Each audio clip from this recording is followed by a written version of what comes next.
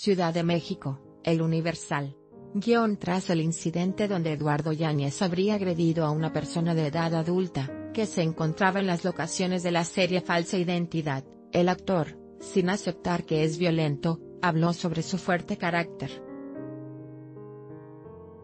Durante una entrevista para La Cuchara, Eduardo explicó, me tocó una época un poquito para abajo, negativa dentro de mi vida personal, y eso derivó en mi carrera porque no hay manera de que, no afecte.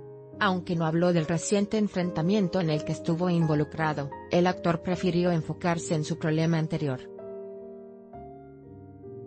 Además admitió que su carácter también es parte de la influencia que han tenido algunos colegas en su vida.